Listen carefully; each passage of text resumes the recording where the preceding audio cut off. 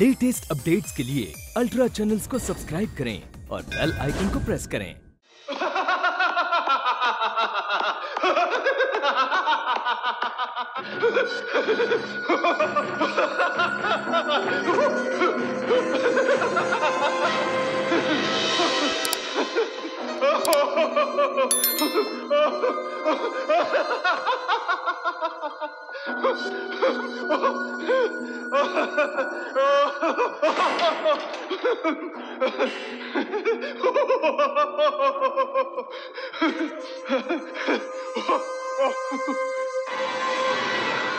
क्यों आज़ाद? अब तो पता चल गया ना। तुम्हारे अपने लोग हमारा कितना ख्याल रखते हैं। हमारे लिए कुछ भी करने को तैयार है। कुछ भी। अब देखो ना, आज तुम खुद मुझे यहाँ से बाहर लेकर जाओगे। मान गए ना वसीम खान की ताकत को। गौर से सुनो, वो दिन बहुत जल्द आने वाला है, जब ना ये मुल्क आज़ाद रहेगा और ना ये आज़ाद।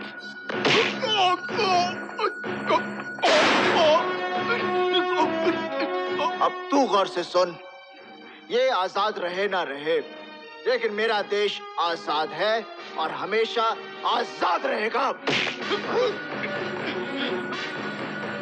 जानता तू अब तक ज़िंदा क्यों है? क्योंकि मैं ये साबित करना चाहता था कि शंकर सिंघानिया तुझ जैसों का एजेंट है। और आज उसने तेरी रिहाई के लिए सरकार को धमकी देकर खुद साबित कर दिया कि वो देशद्रोही है। अब मुझे तेरी कोई ज़रूरत नहीं।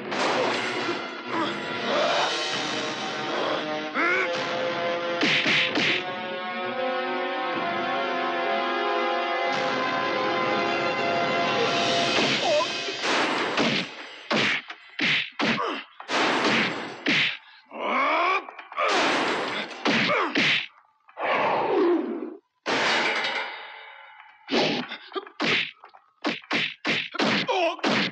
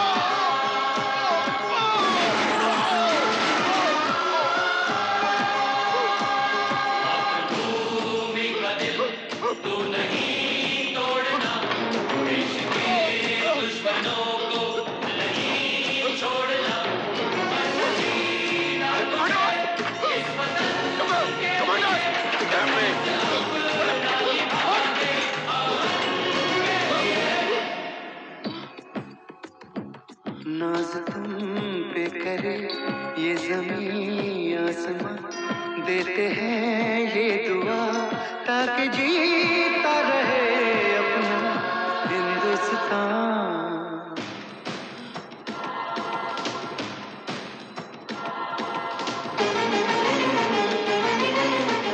हम गांधी जी को भी पूछते हैं, चंद्रशेखर आज़ाद को भी। मैं भी पहले प्यार से समझाता हूँ, फिर हथियार से।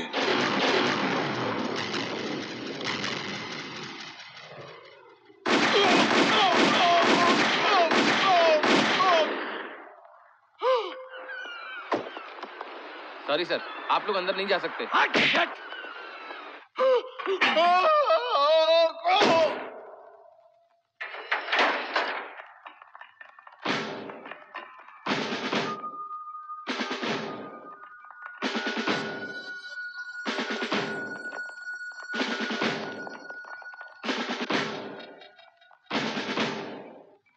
आज़ाद, ये क्या किया तुमने? इसे मार डाला? दिमाग खराब हो गया है तुम्हारा? तुम्हें इससे पूछताछ करने के लिए कहा गया था। किसने ऑर्डर दिया तुम्हें इसे मारने के लिए? किसने परमिशन दी तुम्हें? तुम्हें किसी को सजा देने का कोई अधिकार नहीं है। जज नहीं हो तुम। सिर्फ़ एक पुलिस ऑफिसर हो।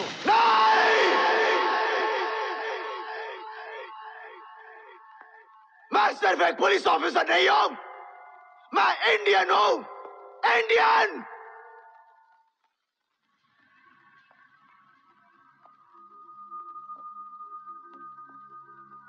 जब कोई माँ की इज़्ज़त लूट रहा हो, तब बेटा बाप से परमिशन लेगा? नहीं। उस हैवान को वही मार डालेगा, और यही मैंने किया, क्योंकि मेरे लिए माँ और मुल्क एक है। मैं उन सब देशद्रोहियों को मार डालूँगा, जो इन जैसों का साथ दे रहे हैं। और उन सबको मारने का हक सिर्फ़ मुझे ही नहीं, बल्कि हर इंडियन को है। और ये हक हमसे कोई नहीं छीन सकता।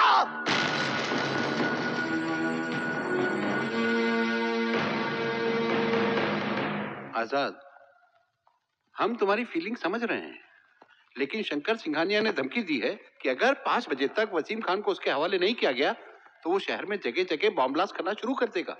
और बीएसटी की किसी एक बस में उसने बॉम्ब रख भी दिया है। मिस्टर मागरत वक्त अब भी हमारे पास है। विल डू समथिंग आज़ाद, हम तुम्हारे साथ हैं। लेट्स गो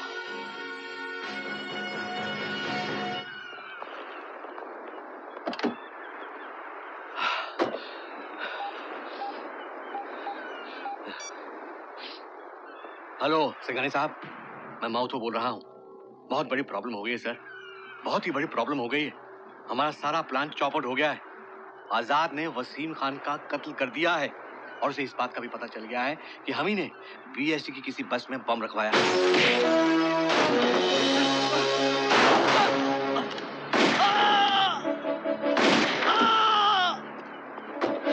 बता किस बस में बॉम्ब छुपा कर रखा है। मैं कुछ नहीं जानता। मुझे कुछ नहीं मालूम। मैं सिर्फ़ इतना जानता हूँ जिस आदमी ने बस में बम लगाया है वो होटल वैली में रूम नंबर 302 में रुका हुआ है। Go and arrest him okay sir Azad एक काम करते हैं। बीएससी की किसी बस में बम है ये अनाउंस करवा देते हैं और सारी बसों को रुकवा देते हैं। नहीं सर ऐसा नहीं कर सकते। अगर पब्लिक को पता चल गया कि बस के अंदर बॉम्ब है तो पूरे शहर में अफरा तफरी मच जाएगी। लेकिन किस बस में बॉम्ब है ये जानने के लिए बस को रोकना ज़रूरी है। आखिर हम बस को रोकेंगे कैसे? मैं रोकूँगा।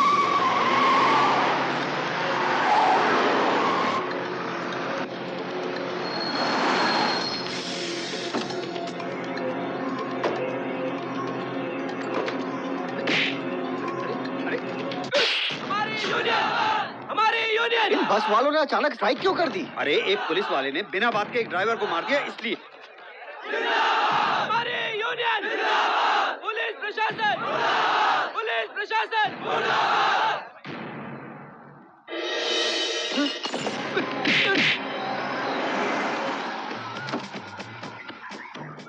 सर उसने ये तो बता दिया है कि बस में बम उसी ने रखा है लेकिन उसका नंबर नहीं बता पा रहा है। पर हाँ इतना ज़रूर बताया कि बस अंधेरी डिपो में खड़ी थी। पाँच बजे का टाइम सेट करके रखा है तुमने और तुझे ये नहीं मालूम कि कौन सी बस थी वो?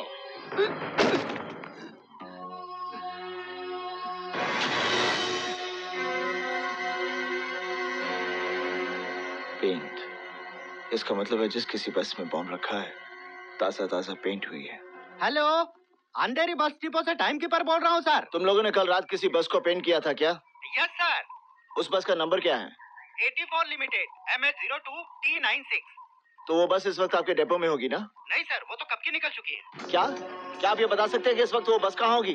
सर ये बस अंधेरी से मंत्रालय तक जाती है। नौ बजे विले पार्ले साढ़े नौ सांता क्रूज ग्यारह बजे वर्ली और बारह बजे मंत्रालय पहुँचती है। लेकिन अभी अभी बीएसटी वालों का स्ट्राइक हो गया तो वो बस वर्ली के आसपास होना चाहिए sir. Keep the bomb squad ready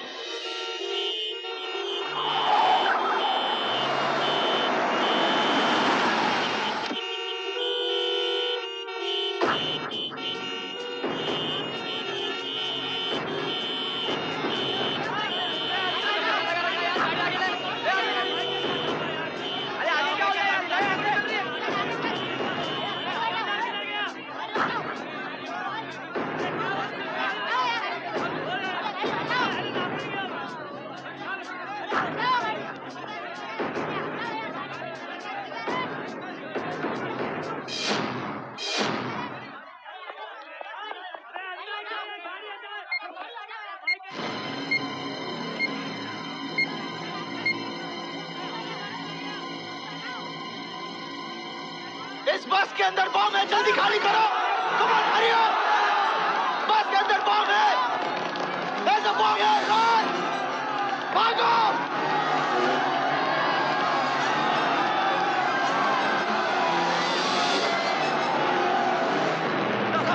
thank God चलो इधर आओ। कमान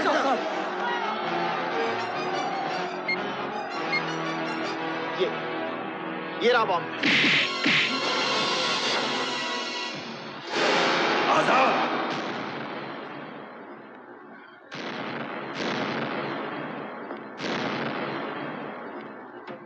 तुम एक बहुत ही इंटेलिजेंट पुलिस ऑफिसर हो।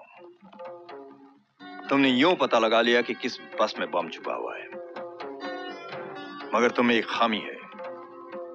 इंसानों को पहचानने की खामी। मेरे लोगों को तुमने अपने बॉम्ब स्क्वाड के लोग समझा।